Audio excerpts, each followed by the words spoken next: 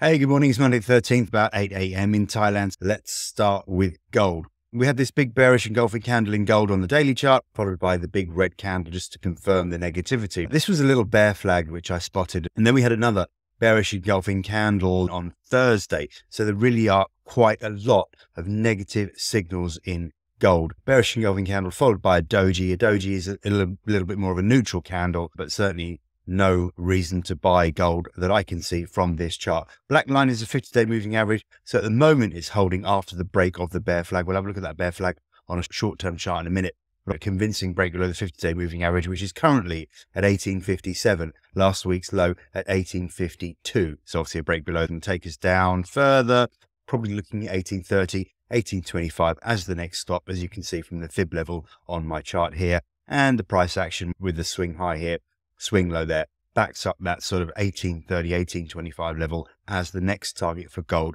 on the downside this week. Just remember that gold still has this double top pattern. No, it didn't play out because we didn't break below the, uh, this is the monthly chart for gold. You can see that we, we made a new high in February and obviously we've collapsed since then. Be interesting to see if we close the month below 1823. That would leave a bearish engulfing candle on the monthly chart.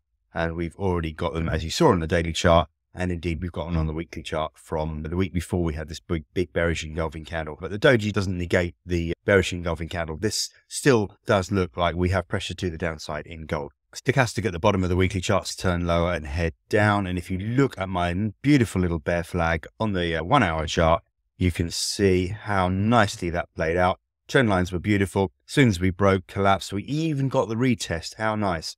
Retest of the trend line for a sell opportunity on Friday, just to emphasize the strength of that resistance level at the lower trend line of the bear flag. We had the 100 hour moving average. So nice, easy sale there. The best perspective to see what's going on in silver is to look at the weekly chart. We're in a downward channel basically through the whole of 2021 and 2022. We retested the upper trend line of that two year channel this month.